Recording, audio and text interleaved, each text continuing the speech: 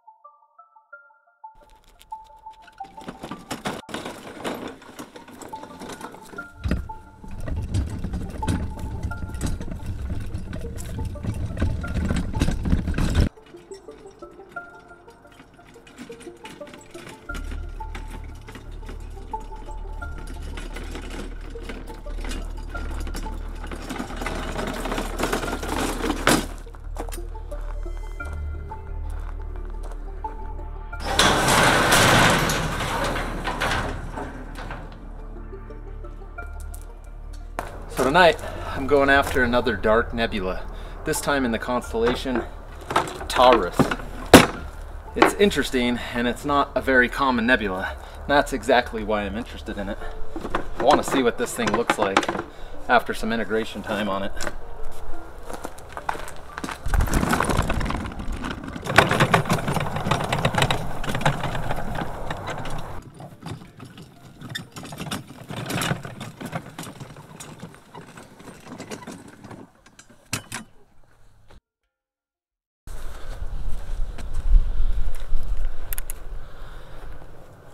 So it's getting to be about that time.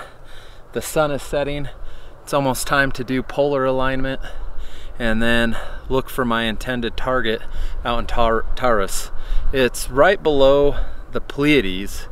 I don't know by how many degrees, probably 15 degrees or so and field of view downward below the Pleiades.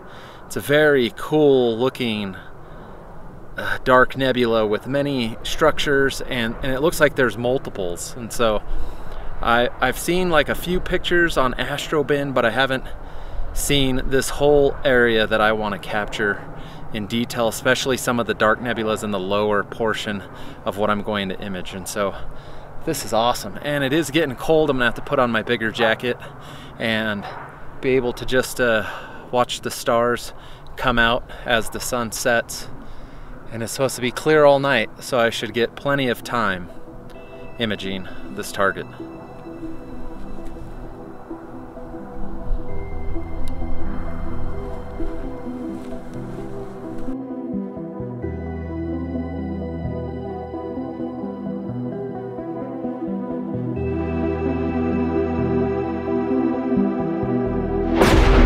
Mystery lurks where men cannot be found nor has it been visited other than with our eyes and imagination. I want you to experience what I feel when I am under the stars, a wondrous, mysterious feeling of inspiration and awe.